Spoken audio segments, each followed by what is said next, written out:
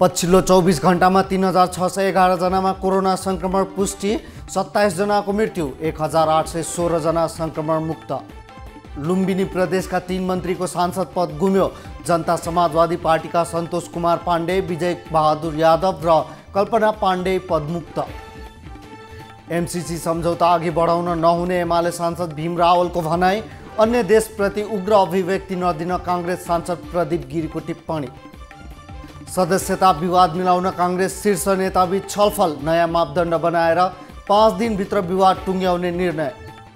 माधव नेपाललाई दोस्रो अध्यक्ष स्वीकार्न नसकिने एमाले महासचिव ईश्वर पोखरेलको भनाई पार्टीको केन्द्रीय समितिले अनुमोदन गरेको दस बुधे सहमति कार्यान्वयन गरेर पार्टीलाई एकताबद्ध बनाएर लैजानु पर्नेमा जोड।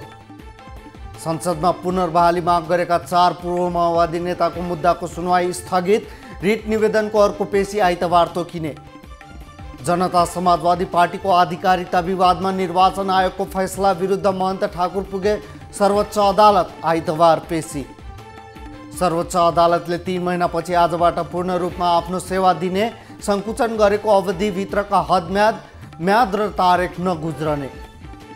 नेपालको सेटेलाइट राख्ने प्रक्रिया रद्द सेटेलाइट राख्न माग गरिएका कम्पनीहरूमध्ये छनौटमा परेका कुनै पनि कम्पनीले रेस्पोन्स नगरेपछि खारेज भएको दूरसञ्चार प्राधिकरणको भनाइ आज साउन पन्ध्र गते वर्षा ऋतुका बेला असार पन्ध्र गते दही चिउरा र साउन पन्ध्रमा खिर खाने प्राचीन कालदेखिको परम्परा आजको दिन खिर खाएर मनाइयो।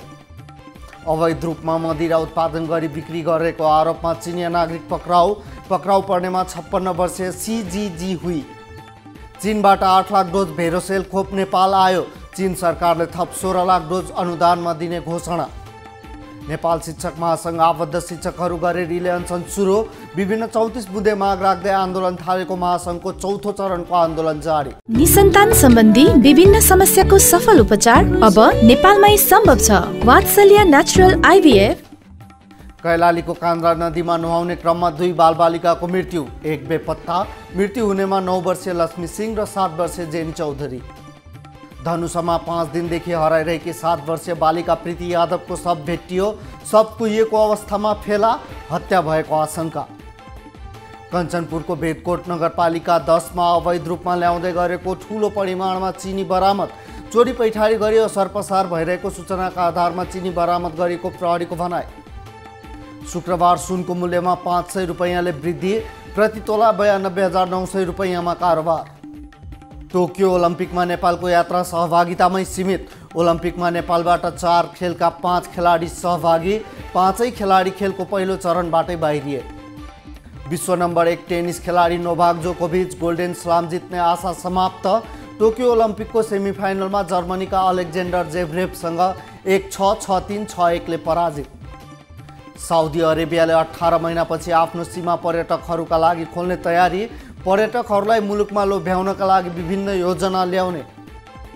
अफगानिस्तानमा बाढीमा परि साठीजनाको ज्यान गयो। कयौँ बेपत्ता दुर्गममा भएका कारण बाढीग्रस्त क्षेत्रमा राहत सामग्री पुर्याउन चुनौती।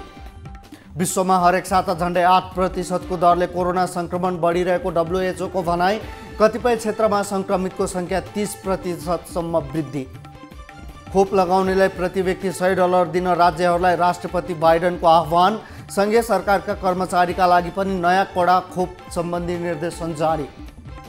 र अस्ट्रेलियामा लकडाउन कडाइ गर्न सेना परिचालन कोरोना भाइरसको डेल्टा भेरिएन्ट सङ्क्रमितको सङ्ख्या बढ्दै गएपछि लकडाउन लगाइयो।